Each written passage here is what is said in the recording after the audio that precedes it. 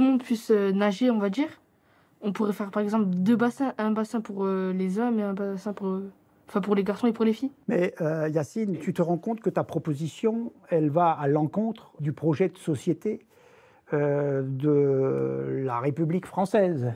Les piscines sont mixtes. Euh, Ryan? Euh, moi, je pose, moi, je pense qu'il faut supprimer le- la piscine pour que toutes les personnes soient, soient contentes. Par exemple, il n'y a pas une personne qui va à la piscine et l'autre non.